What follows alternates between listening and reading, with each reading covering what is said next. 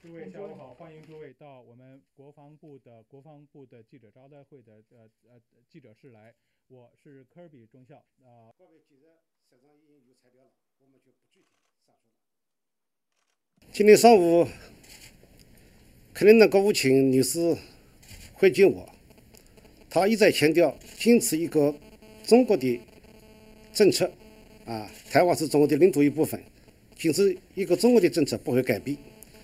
我听了以后，我回啊问了一句话，我说我从上学的时候就听到这句话，现在我老了快要退休了，还是这一句话，不知道什么时间能使中国啊的领土实行统一，成为一个真正的中国。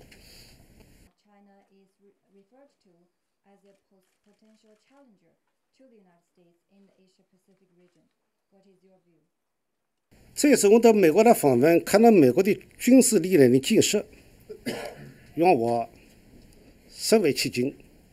我们不仅是没有能力挑战，我们感到在亚太地区，特别是美国的军舰和战机的抵近政策，是感到是一种威慑。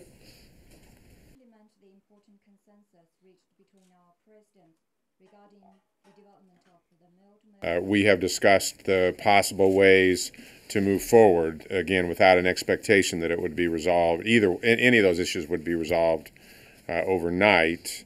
Um, and at the same time, knowing uh, as, as well that we also have many positive areas, mutual interests that we have talked about uh, that we can continue to work together on. I talked about piracy, counterterrorism, humanitarian assistance, disaster relief.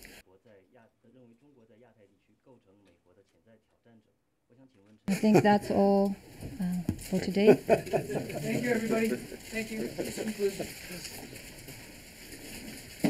小伙子们，再见。呃，你提的问题提的很好。 Thank you for your good questions. 好啊，谢谢。 Thank you.